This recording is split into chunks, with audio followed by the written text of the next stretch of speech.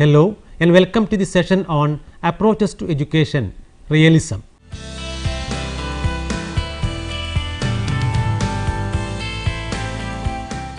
Philosophy is a deep and comprehensive subject.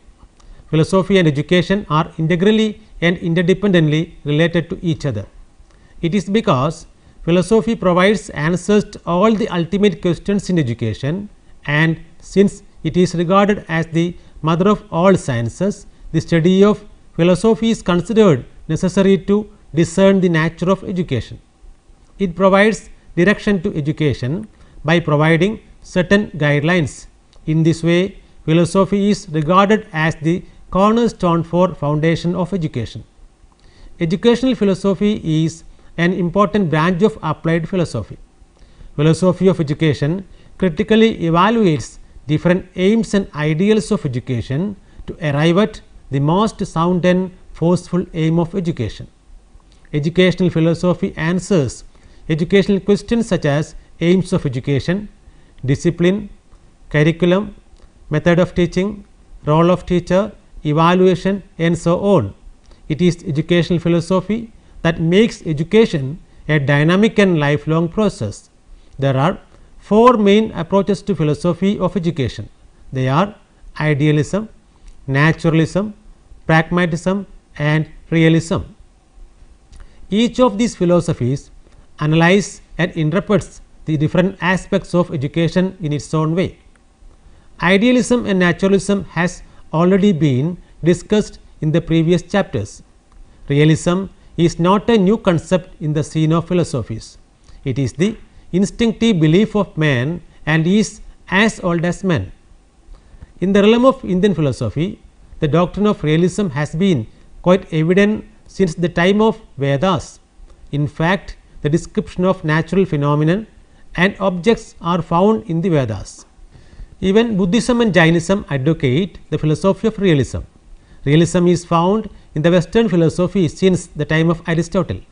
It is believed that realism emerged as a protest against idealism and developed as a doctrine of philosophy during the 17th century. The impact of science and technology on materialism turned against the philosophy of spiritualism or idealism and developed a new philosophy that is realism which gave rise to a new realistic outlook of life, material phenomenon and material things. The rapid development of science and technology in the 20th century made it a distinct philosophy which had great influence on educational principles and practices.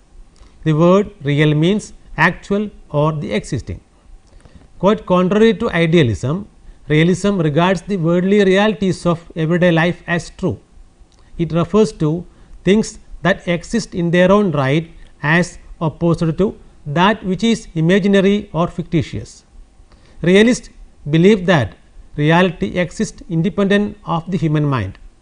They believe that ultimate reality is the world of physical objects. Realism is the belief that matter is independent of cognition and that universe cannot be reduced into forms, ideas or minds.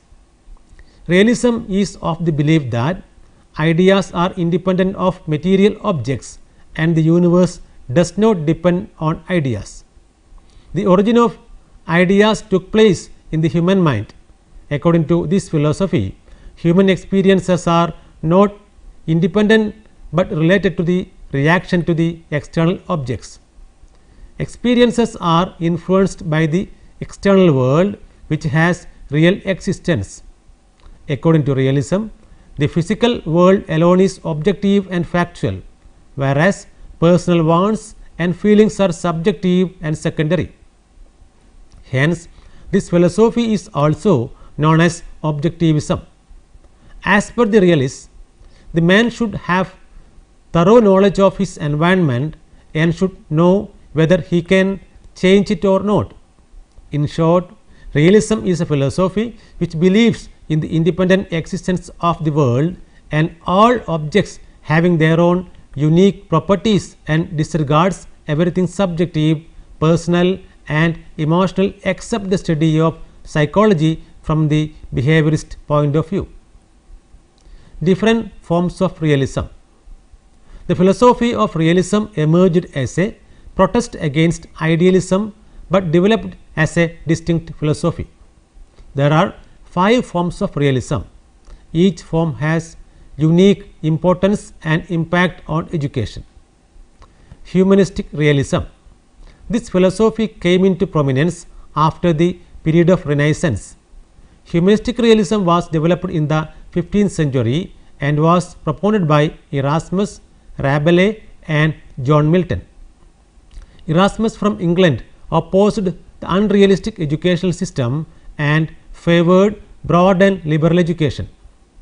Rabelais was a French scholar opposed the idealistic, academic and theoretical type of education and favored liberal education. He stressed the physical, social, religious and moral education. He also believed that education should prepare a man to face all the problems of life. According to him, the aim of education is to make practical life better. John Milton was a great man of literature, a poet and an educationist. He believed that education should give knowledge of things and objects. He opposed the education of masses and gave importance to physical education. As Milton was religious, he wanted education to impart knowledge about God. He was in favor of complete and liberal education and was against academic education.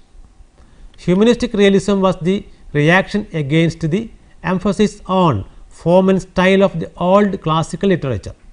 It had great regard for the ancient literature, but it emphasized the study of content and ideas in the ancient classical literature to understand one's present social life and environment. The believers of humanistic realism believed that education should be realistic and only such an education can promote human welfare. For this, they advocated the study of Greek and Roman literatures. They believed that the study of literature was essential to make human life successful. Social realism. Social realism in education was the reaction against a type of education that produced scholars and professional men to the neglect of the men of affairs that in practice. The main aim of social realism was to make human life happy and successful by fulfilling the needs of the society. So, the believers of this philosophy were against isolated life of men. According to them, all learning should take place in the company of others. Moreover, they advocated education which was useful for life and that improved working efficiency of the individuals of the society. The social realists were against bookish knowledge and encouraged education that was practical in nature.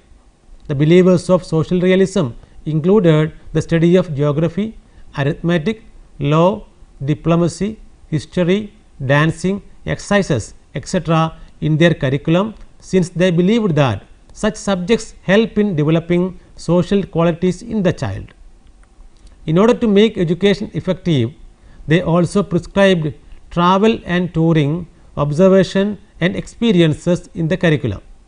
The two main protagonists who advocated social realism were Michael de Montaigne and John Locke.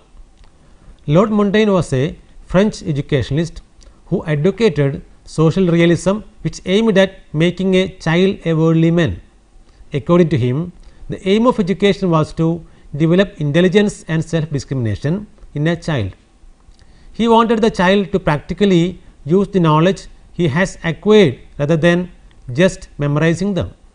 He supported the idea of making knowledge practical and utilitarian.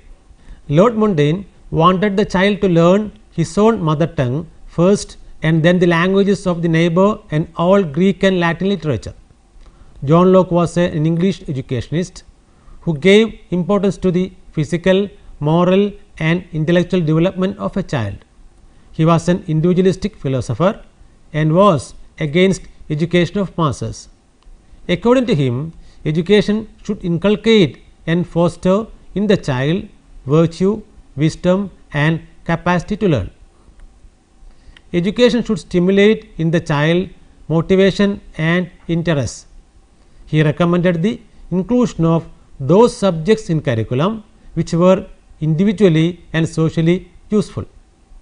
Sense realism Sense realism developed as a form of realism in the 17th century and was known as scientific realism. Several discoveries in science and technology made the philosophers believe that senses are the gateways of knowledge. They believed that knowledge came primarily from the senses and not from words, hence the name sense realism. This ideology had great impact on modern philosophies of education. Philosophers who advocated this philosophy believed that the child's ears, nose, eyes, mouth and skin should be freely used to the maximum in education and without excising the sense organs of the child no knowledge can be gained. According to them the truth can be gained by observation and contact between senses and external objects. They were against artificial techniques of education and encouraged the use of real and effective methods of education. This would ultimately help the child to gain knowledge of natural objects, natural phenomenon and natural laws. The main protagonists who advocated sense realism were Mulcaster, Francis Bacon, Ratke and Comenius. Richard Mulcaster, an English educationalist, was against the current system of education of his time and stressed the importance of physical and intellectual development of the child. He advocated child centered education and stressed great importance to mother tongue, reading, writing, music and other subjects at primary level and scientific subjects at the higher level. He emphasized training of senses as real education and stood against memorization.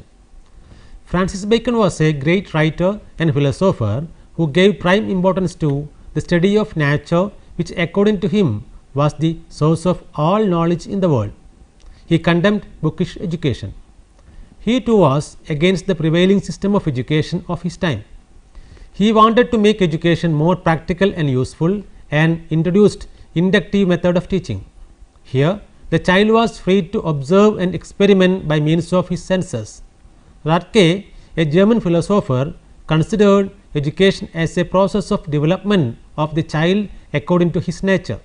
He also supported the use of mother tongue in imparting education. Comenius believed that ultimate end of man is eternal happiness and believed in universal education. For this purpose, he wanted to make education child centered, moral centered and God fearing centered. According to him, knowledge comes not only through the senses, but also through man's intelligence and divine inspiration. He opposed any form of repression and physical punishment. His educational thoughts were later accepted and developed by great philosophers like Rousseau, Pestalozzi and Herbart. Scholastic realism Scholastic philosophy is the western philosophy ascribed to Roman Catholics. This philosophy gave importance to the study of eternal truth over world objects. Scholastic realists were moderate realists who believed that there is a transcendent mind in which the universe exists. The educational philosophy of scholastic realism is fundamentally dualistic since it recognizes an order of natural as well as that of supernatural things. For example, in scholastic realism God is central and nature is his manifestation. Neo-realism Neo-realism has more importance in the field of philosophy and science than in education. This ideology believed that rules and procedures of science are unchangeable and valid only in certain conditions and circumstances. The advocates of this philosophy do not consider the scientific principles everlasting while they express the changeability in them. They support the education of art with the science and analytical system of education with the humanistic feelings. Alfred Whitehead and Bertrand Russell were the two main chief exponents of neo-realism and they emphasized both science and education. Alfred Whitehead was an English philosopher and mathematician. He gave due importance to scientific subjects as well as arts and humanities, language and literature. Russell was a great philosopher, educationalist and intellectual thinker. According to him, education should come by means of senses. Hence, he emphasized the sensory development of a child. Aims of education according to realism. Realistic education has the following features. Realistic education emphasizes the study of science subjects and feels that only science subjects can make education useful and purposeful. Realistic education gives importance to the present life of the child. Child centered education is an important feature of realistic education. It gives more importance to experiments, experiences and application of knowledge. It advocates self learning through senses. Realistic education gives equal importance to individuality and sociability of the child. According to realists, all education should be provided through the child's mother tongue. Realistic education is against providing religious education. Realistic education denies the existence of God and the world beyond it. Absence of punishment is another important characteristic of realistic education. Realistic education is against academic, theoretic and bookish knowledge. Realists hold the view that education should have practical utility for the child. Realists do not believe in general and common aims of education. For them, the aim of education depends on each individual and his perspectives. Preparation for happy and successful life. Education should help the child to solve the problems of his life successfully and lead a happy life. For this, the child can undertake activities concerned with language, hygiene, social activities, activities related to mental health, leisure activities, vocational activities, etc.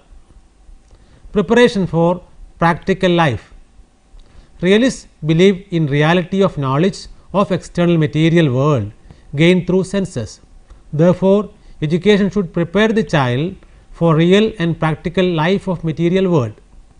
The aim of education should be to teach truth rather than beauty and to understand the present practical life.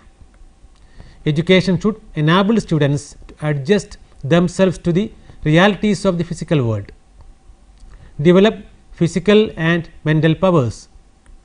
Realists give importance to physical and mental development of a child through education. According to them, physical organs as well as mind of a man constitute an organism composed of matter. According to realists, the aim of education should be to equip students with knowledge and skills needed to understand and master their physical environment. Train the senses. The realistic philosophy believes that proper training of senses enables the child to achieve the fullest development. According to them, the child should have immense knowledge about the external world and this cannot be possible unless and until his senses are trained and developed properly. Since senses are the gateways of knowledge, realistic education aims at development of senses of the child through appropriate experiences. Develop vocational efficiency. According to realistic education, a child should be trained for vocational pursuits, so that he can prepare himself to meet the problems of livelihood. Thus, realistic education aims at developing vocational efficiency. This aim makes education craft centered. Relating the child to nature and social environment. Realists consider man as a part of material as well as social world. Hence, the child should be related both to the external nature and social environment. As a result, realistic education aims at providing the child with knowledge of society and external nature. Curriculum in realism. Realists advocate detailed curriculum and believe that the child should have the freedom to choose from the detailed curriculum. Realists feel that the student should be taught only those subjects that they understand and prefer. He should be taught what is useful in his life. Only those subjects should be taught that will help make his life successful and enable him to achieve the fullest development of his innate powers. All the subjects taught should be related to one another. They should be planned according to the needs of the society. Ultimately, education should enable the child to adjust to changing social circumstances. Realists do not encourage a separate curriculum for moral education. Realism advocates a system of general education that extends over a period of time during the earlier stages and specialization in the later stages. Vocational subjects are given importance in the later stage. Realists emphasize the study of science subjects such as physics, chemistry, biology, astrology and physiology. Realists aim at preparing the child for practical life hence include subjects like handicrafts and farming in the curriculum. Realists give due importance to mother tongue and include language studies in the curriculum. They believe that study of languages will help the child to read, write and conduct all types of social interactions. Exponents of realism insist inclusion of those subjects in the curriculum that are necessary for individual and social life of the child. Hence, subjects such as literature, art, music, dance etc., are considered unnecessary and useless. Realists encourage travelling and touring and include such activities in the curriculum with a view to establish a direct contact between child and the nature. According to humanistic realism, classical literature should be studied, but not for studying its form and style, but for its content and ideas it contained. Social realism was generally recommended for the people of the upper social class. It combined literary elements with ideals of chivalric education. Naturally, it included the study of literature, riding, fencing, gymnastics, study of modern languages and the customs and institutions of neighboring countries.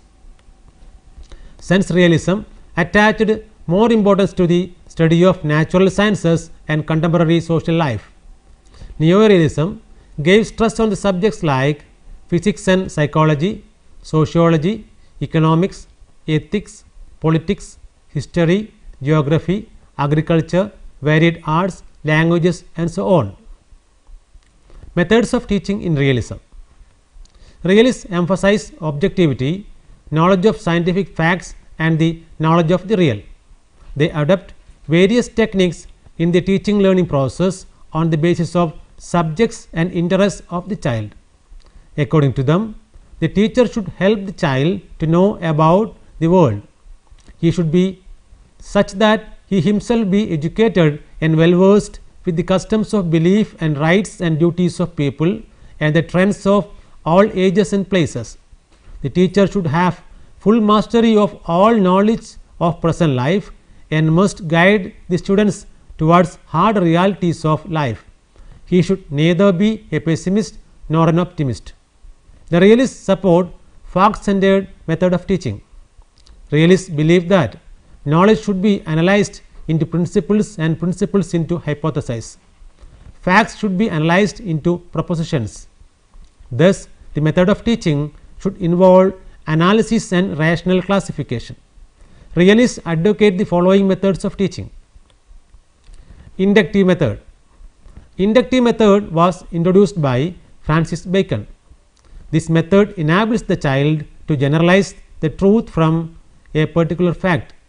In this method, the object is shown to the child first and interpretation is given later. This method helps self learning. Deductive method. This is a natural method of education and was introduced by Comenius. It enables at a particular truth from general principles. This method helps in developing the reasoning capacity of the child. Experimental method. Realistic education emphasizes the study of science subjects in the place of language and art subjects. The experimental method is used to make the study of science subjects effective. Observation method. Realists consider observation method as one of the learning techniques through which the child gets direct experiences. According to them, the child should be trained for real life. For this, all senses should be involved in the learning process. For this, the observation method is used. This method helps in development of strength of the mind of the child. Traveling and tours. Learning by direct experiences is always encouraged by the realists. According to them, this is a powerful means of education. Social realists follow the method of travel of journey method which will give real experience of varied aspects of life to improve knowledge and mental faculties. Now, you can try to answer the questions given here. What are the aims of education according to the philosophy of realism? What are the main features of realistic education? What is humanistic realism? Why is realism known as objectivism? What are the different teaching methods used by realistic philosophers? What is the importance of curriculum in realism? Now, you may go through the reference books for further reading. Philosophy of Education written by Chandra S. S. and Rajendra K. S. and published by Atlantic Publishers and Distributors, New Delhi in the year 2006. A comprehensive study of education written by Ravi S. and published by PHI Learning Private Limited, New Delhi in the year 2011. Introduction to Philosophy of Education written by Kneller G.F. and published by John Wiley and Sons, New York in the year 1964. Thank you for watching this program. We can meet again with another topic. Have a nice day.